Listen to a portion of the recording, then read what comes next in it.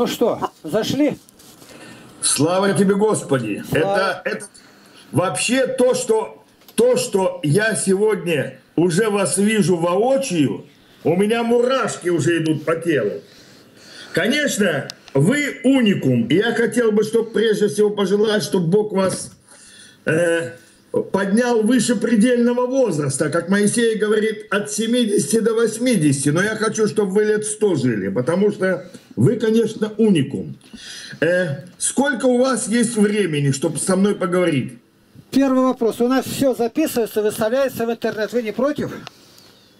Да, мне, э, пожалуйста, все, мне это все равно. Говорите, не ограничено во времени. Э, прежде всего, я хочу э, вас в одном деле э, подсказать вам. Вам подсказывать нечего, но я хочу по Библии вам подсказать. Значит, э, вы часто бисер метаете перед свиньями. Зачем вы тратите свое здоровье на это? Вы знаете, дорогой мой, э, когда вышел сеятель, что мне вам объяснять? Я просто хочу беседовать, как я понимаю. Вышел сеятель и сеял, то там было четыре почвы. И только в четвертой почве все случилось нормально. Как я понимаю, если вы будете говорить четырем человекам, в лучшем случае поймет только один, 25%. И то это не работает. Э, будучи у баптистов э, несколько лет, э, был прекрасный человек, я сам из Петрозаводска. Всю сознательную жизнь там учился, работал. Вот. И вы знаете, он пресвитер, он столько сил потратил, ему уже за 80 лет, понимаете, и объяснял порой людям, я просто для чего тратить свою жизнь, вот я просмотрел сейчас кучу материала о вас. Я всего вышел на вас два дня. То есть случайно, нет, конечно, это не случайно. И поразился глубине знаний. Энцик, человек энциклопедических знаний находится в очень серьезном возрасте. И тратит время дуракам объяснять, знаете, я недавно проповедовал в церкви по поводу глупости и скудоумия.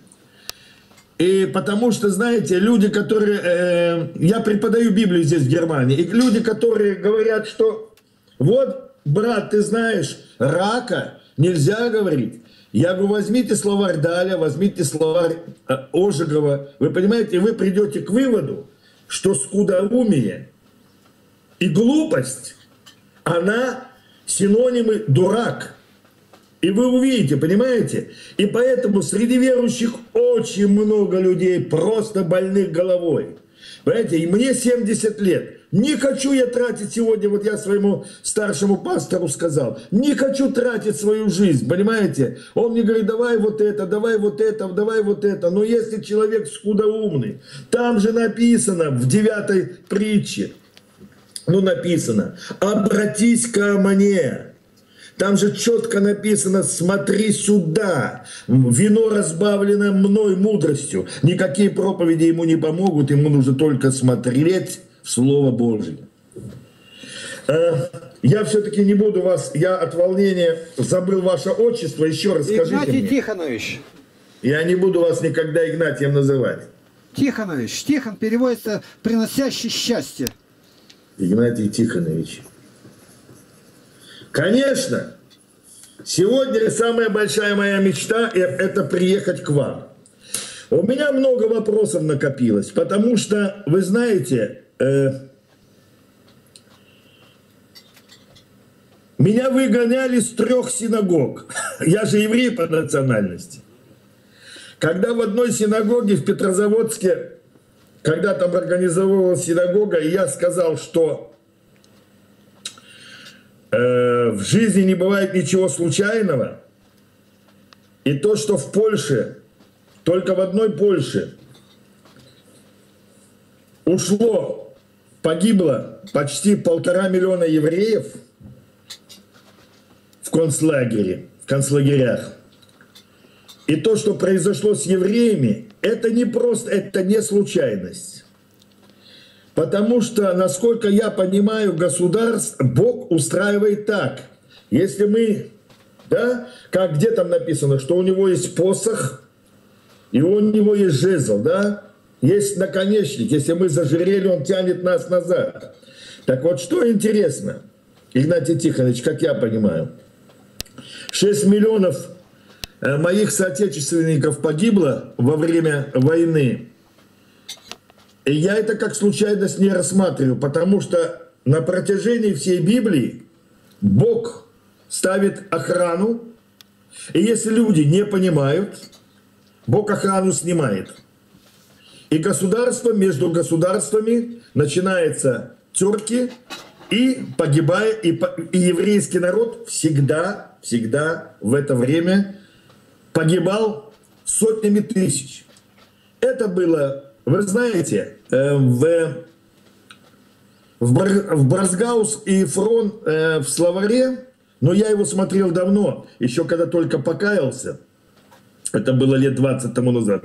Там есть такое, вы можете посмотреть, э, евреи, и там написано, что когда э, после того, как распяли Христа, э, буквально через, я не помню, через сколько, несколько десятков лет,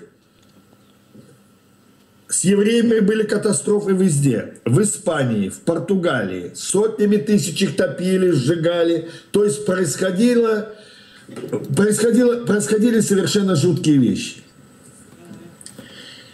Я понимаю Библию так, немножко не так, как вы. Я хотел бы не то, что вас научить, а я хотел бы, чтобы вы меня поправили.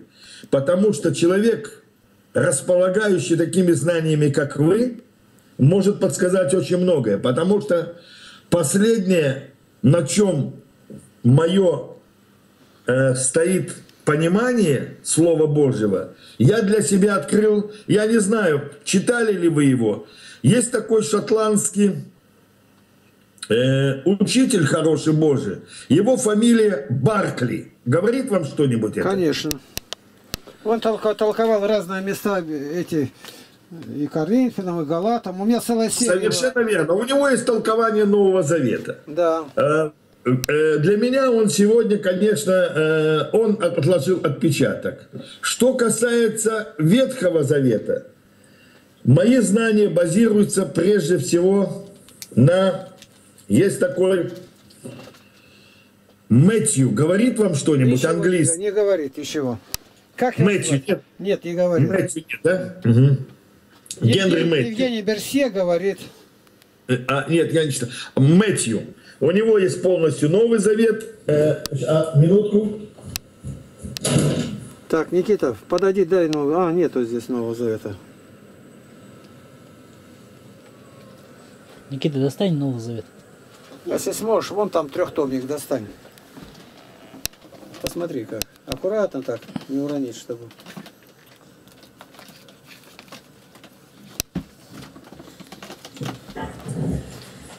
Вот такой, вот такой Мэйти у меня. Э, значит, э, Игнатий Тихонович, я хочу прежде всего два, две вещи. Буду сбивчиво говорить, волнуюсь. Прежде всего, пригласить вас на отдых к себе, оплачу дорогу, самолет, все. Хочу, чтобы вы приехали сюда. Просто отдохнули. Насколько угодно. Можете на месяц, можете на три дня, можете на пять, можете на шесть дней. Просто приедьте, и я вам сделаю просто отдых и экскурсию. Я живу в таком городе. Э, это небольшой городок, может быть, вы и не слышали, хотя вы с классической литературой дружны, поэтому вы, наверное, его знаете. Есть такой город Баден-Баден. Конечно. Вот, У я живу в Баден. Храм большой есть. Ну, он, не, он небольшой, он небольшой. Но там, знаете, в этом православном храме это отдельный как-нибудь разговор. Там даже это... Мы в Зоннеберге были, два года подряд ездили через Зоннеберг. Куда, мы, куда? Мы из Германии, два года через Германию проезжали. Наша миссия была до Испании, Португалии. Ага. Обязательно, значит, э, я вам... Э, вот там у вас сидит паренек, да, пусть он сразу запишет мой адрес, потому что вдруг кто-то, Бог вас пошлет, чтобы у вас был мой адрес обязательно. Мы найдем, вы не говорите пока. Потом мы легче спишемся, если нужно будет. Хорошо, пока. хорошо. Скажите, пожалуйста. А вам вот такое известное нет? Вот видели, нет? Новый Завет.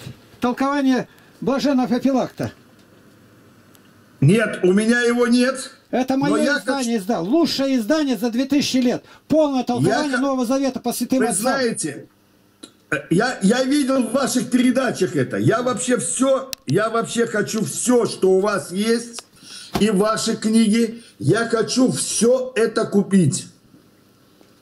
Сколько бы мне ни стоило, потому что я увидел, что там такие знания, которые э, я сегодня по крупицам собираю, собираю, собираю, собираю, вот, но то, что вы говорите, связано с энциклопедическими знаниями, это, конечно, такого, такого я вообще, э, я обалдел.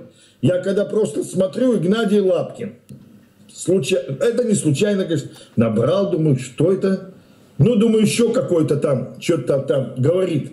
Много кто говорит. Но смотрю, нет, все обосновано. Я единственное хочу, чтобы Бог, конечно, прежде всего вас хранил. Но вы знаете, я просто хочу вам есть... Э, кто это из великих людей так сказал? Врагов нет только у урод и сумасшедших. У остальных всех есть враги. Поэтому, понимаете, то, что случилось с Адельгеймом, знаете, да? Конечно, Павел. Да. Понимаете, это, ну, я его слушаю, высокой культуры речь. Понимаете, и то, что вот это происходит, то, что могут вообще вот это в России, э, э, дьявол, сатана может вот так вот действовать, через людей прийти, всадить нож, ну что это? Вы знаете, я когда-то был, если я не, не помню, когда лет 20 тому назад, а нет, больше, я еще в православную церковь ходил тогда – а потом, я вам честно скажу, на православии я понял, что с теми людьми, с которыми я имею дело в православии, э, я увидел, что это фальш. Хотя я вложил огромные туда средства. Вот. Я ездил по монастырям. Я жил три дня в Коломне в женском монастыре. Я жил э, в монастыре в, э, вот это Троицко-Сергиевой лавре. Разговаривал с монахами. Ну, извините, есть, конечно, монахи образованные и все. Но я разговаривал с людьми просто, которые просто, ну, ну, ну здесь не, не, не очень далекие люди. Там не о чем было говорить. Три дня мы там тоже жили. И чтобы там к Науму, к этому пробиться, нам три дня там сказали, там поклоны, отбивать все. Я не совсем понимаю вас с вашими поклонами, с вашими... Э, установлениями чисел определенных. Вы знаете, я вообще честно вам скажу, я считаю то, что в Писании написано, то свято и то правильно. Что придумал человек, а люди разные. Читая «Житие святых», я вижу, сколько многое придумал человек. Скажите, пожалуйста, вот я сегодня православие, я не знаю, в вашем понимании, есть это или нет. Я сегодня не нахожусь в прелести, как о вас пишут. Я, я читаю рецензии вообще людей, что о вас пишут. Но это же вообще, но Поэтому мне очень жалко вашего здоровья. Мне очень жалко, что вы будете с этими людьми, которые такую грязь, которые вообще не понимают вообще, что такое Слово Божье.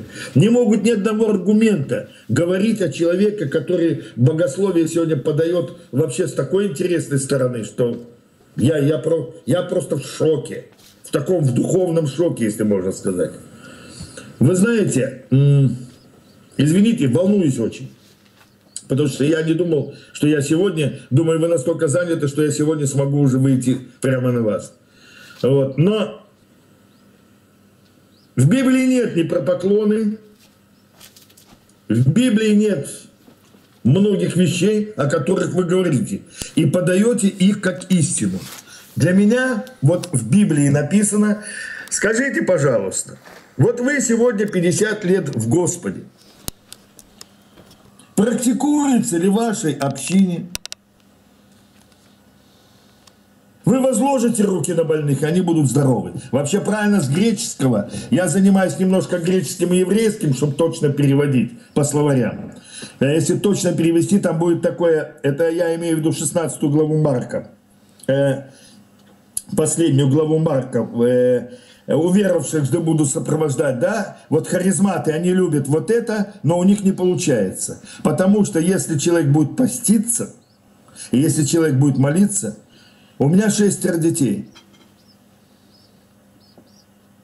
Есть вещи, я возлагаю руки, они исцеляются. Колено, головная боль. Вот у меня Мария, которая вас искала, ей 15 лет. Она недавно вообще ползала, понимаете? Я, э, я делал, вот как я делаю. Вот она заболела, 15-летняя девочка, в школу не пошла, в гимназию. Все, говорит, папа, не могу. Бледная, губы синие. Я говорю, будем по Библии делать.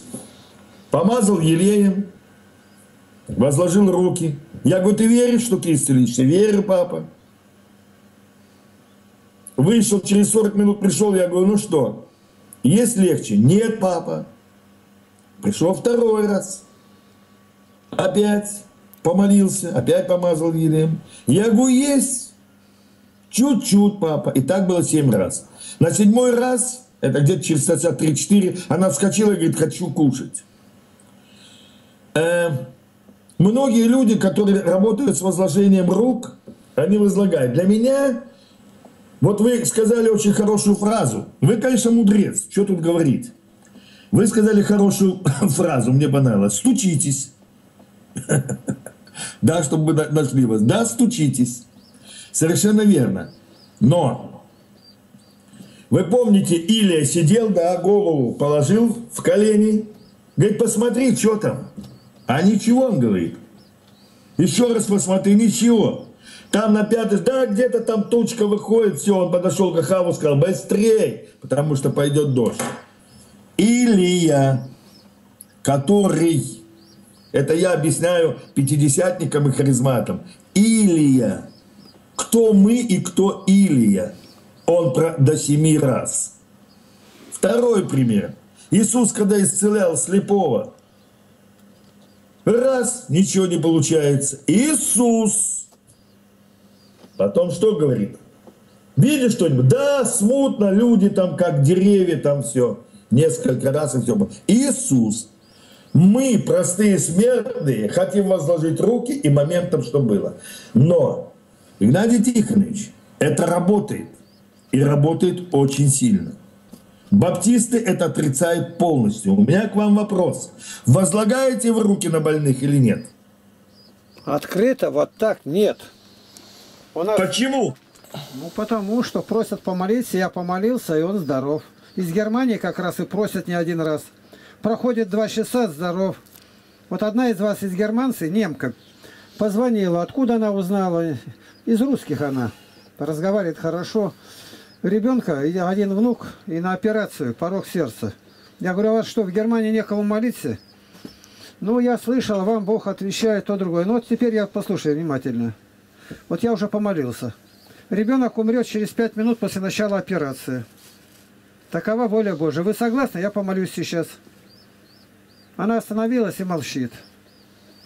Вы понимаете, я волю Божию не могу изменить. Это Бог делает так, потому что все мы смертные. Молиться или не молиться? Вот она, понимаете, она встала и ждал, ждал, я говорю, так все-таки один ответ только должен быть, да или нет. Да, значит, я на колени сейчас становлюсь, простираю руки перед Богом. Помолитесь. Я говорю, благая участь вам известна будет от Бога. Прошло часа 4, операция закончилась. Ребенок хороший, но дисципли... это, температура ползет просто ужасно. Еще помолитесь. Проходит минут 20, она звонит, температура резко пошла вниз. И она теперь, это каждый день, каждый день мне столько просьб будет. Я молюсь, и обратно, вот мы все сразу на молитву. Молитва кончилась, проходит там, бывает э, до конца дня, там на операции очень тяжелый. Звонят так-то, теперь благодарением, теперь все на молитву на благодарности. Вторая ступень. На молитве три ступени. Первая – просительная, вторая – благодарственная, третья – словословие «Аллилуйя, слава тебе, Боже». Вот только вчера получил благодарность, уже перед сном, перед самым. На наш ресурс вышел человек. Ну, очень такой поисковик настоящий. И дал сектантам, там, баптистам, пятидесятникам, католикам. Один тут же перешел в православие, второй, говорит, сейчас все толкует по православному, а католик тут же принял православие. Я уже перед сном получил три известия сразу. Благодаря нашим только роликам. Моего-то там ничего нету. Молитва, она наша ничего не значит. Просто открывает доступ к Божьей благодати. Вот вы сказали евреи. У меня для всех вопрос, который ко мне приходит. Скажите, вы хотите быть благословенными? Вы понимаете, что означает благословение и какие блага несет? Ну вот, а хорошо, жена, дети там начинают. Давайте возьмем это за основу. Хочешь быть благословенным? Ты должен две грани увидеть благословения, остальное посередине. Первое, никогда, нигде не проклинай детей Авраама, евреев, а только благословляй. В этом первое благословение для всего мира. Никогда и нигде не проклинай сынов Авраама. Это, это вы говорите по Библии все правильно, но, но я в своей церкви, в одной, она распала, здесь было 120 человек, вот, но я говорил, там было три или четыре еврея, и я им говорил, что есть, вы понимаете, есть качество характера, которые евреи, вот этот Мэтью, который у меня, он очень четко подметил все еврейские черты. Не потому, что он антисемит. Я не антисемит, если я еврей. Я не антисемит. Я не могу быть антисемитом. Но я вам скажу, э, здесь, в эмиграции, я живу 10 лет, и я знаю причину, начинаю понимать причину антисемитизма. Есть вещи, которые сопутствуют народу, они его характер. У русского народа один характер, у евреев другой, у немцев, например, посмотрите. Я впервые увидел такой народ. Зайдите к нему в келлер, э, в подвал, зайдите к нему в гараж, зайдите к нему куда угодно. Каждая вещица на своем месте. Даже вы знаете, Игнатий Тихонович, вот такая коробка большая, да? В ней такие ячейки, и вот он будет сидеть молодой или старик, и эти болты, если перемешались, шайбы, все это по размеру. Не так в коробке. У них вот этот э, по-немецки порядок Ортнун, он их генетический. Поэтому у них нет ни нефти, ни золота, ни серебра, ни полезных ископаемых. От того, что у них генетический порядок в башке, у них порядок в экономике. И у них жизнь великолепная. Я работал, знаете кем? Я работал в последнее время в Карелии э, директором ресторана, сам я музыкант по образованию. Вот. А потом музыка не кормила, я пошел в торговлю. Хотя, знаете, помните, у Сираха, по-моему, написано где-то, э, приучая сына к торговле, знай, что ты приучаешь его к воровству. Где-то такое написано. И между продающим и покупающим всегда стоит грех обмана. И это факт. И никуда от этого не, не деться. Вот. Но я хочу вам сказать вот что. И видите, все сбиваюсь, потому что очень сильно волнуюсь. Игнатий Тихонович, вы понимаете, в чем дело? Вот вы говорите православие. Только поймите меня правильно. Я не критикую вас. Я не имею права вообще, потому что мои знания, они, э, ну, они в миллион раз меньше, чем ваши. Хотя я посчитал, что я прочитал примерно... Я читаю примерно 30 страниц в день, обрабатываю. Ну, на протяжении, да, то есть это 10 тысяч в месяц.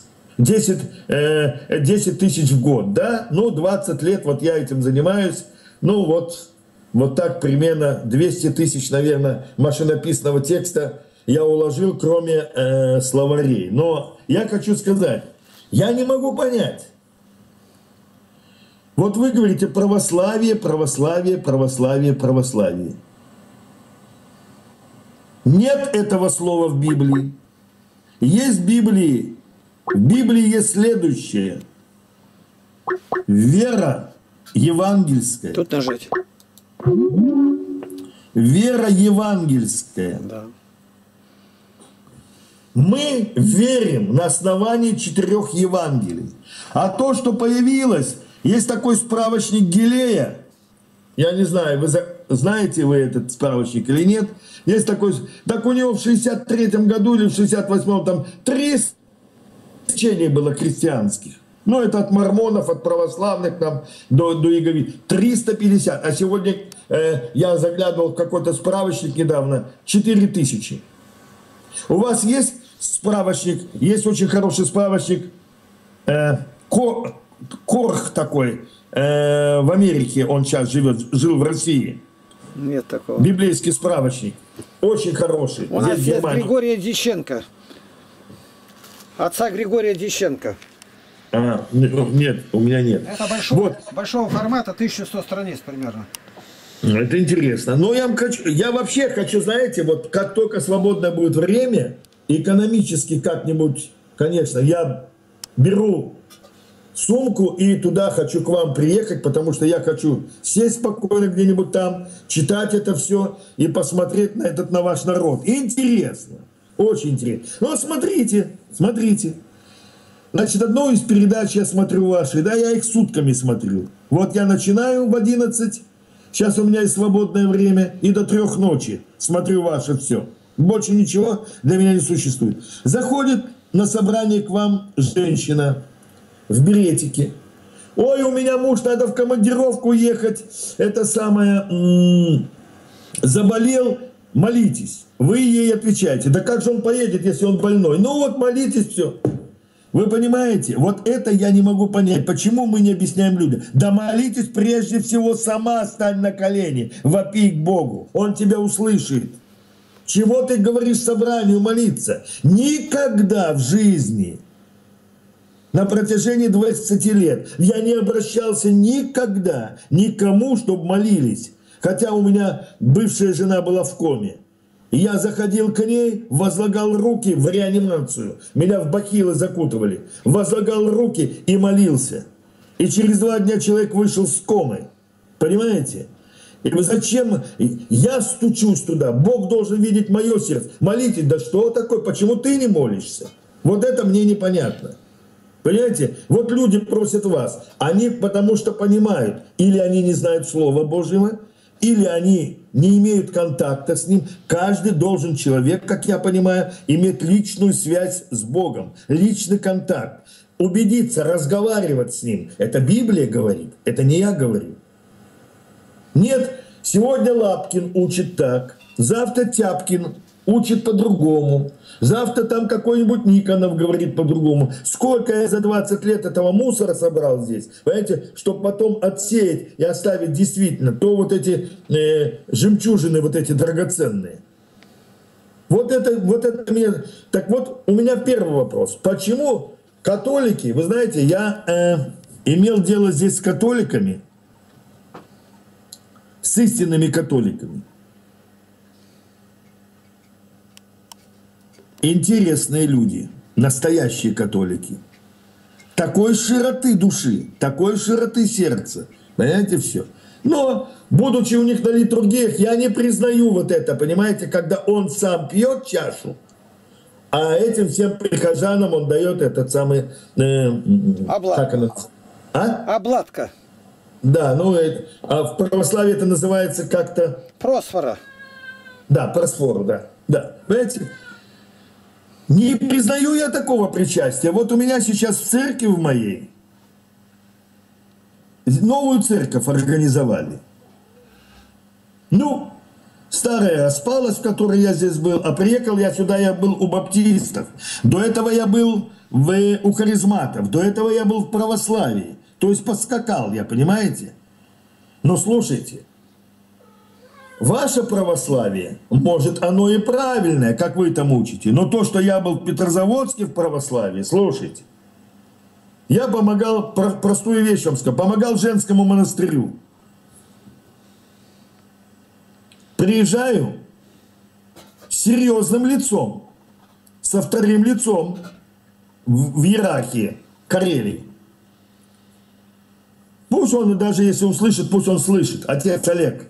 Приезжаю я в женский монастырь. Они мне там звонят, там была матушка, Звонит, говорю, что надо? А это были, знаете, жуткие годы. Это, это когда вообще просто ни продуктов, ничего не было. А так сказать, как я имел доступ к этому, понимаете, в торговле работать. Я им везу там мешок муки, мешок сахара, коробку 20 килограмм сливочного масла, гречки мешок. А гречка это была вообще. Приезжаю туда и привез э, пакет, знаете, есть такая, такая популярная конфета – Мишка Косолапый. Конфеты. Знаете, Илья Тихонович? Нет, не знаю и не беру. У нас конфеты не употребляются. Вообще не употребляются? Нет, это по зубам. Это стоматологический комби... Э, уже кабинет. Пойдет туда клиент. И дети не едят конфеты? Нет, надо только мед, чистый мед покупать, если желаешь. Мед. Но это, это, это, и, это есть такая работа, есть такие богословы, американские хантеры, харизматы, они то же самое, они на основании Слова Божьего то же самое говорят, да. И вот вы знаете, приезжаю я туда, Маша, убери, вот я не вижу лица э, Игнатия.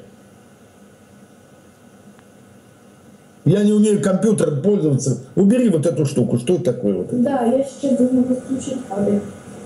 Вот. И вы знаете, а вы меня видите, да? А, хорошо я вижу. Ну, слава. Да, мне нравится, конечно, мне нравится, во-первых, острота ума, и мне нравится, конечно, ваш юмор. И он, конечно, потрясающий. Так вот, привез конфеты, матушка говорит, это то, это те, я называю, причины, на которых, из-за которых я на православие поставил крест. Э, Монашка спрашивает у нее, монашке лет 80, матушка, конфеты-то куда? Она говорит, в комод, в мою келью там. Что это означает? Видать, Маша что-то перепутала его. Что значит перепутал? Ну, он просил помочь, чтобы она включила что-то, она, видать, не то нажала. Еще, еще непонятно, еще он позвонил. Приглашает вас приехать в Германию. Не, я не поеду, ни ему сюда разрешения нету. У нас не- не- нет нужды ехать и запрещено приглашать. Так что я должен в конце сказать. Ну еще теперь ждать. На этом закончить.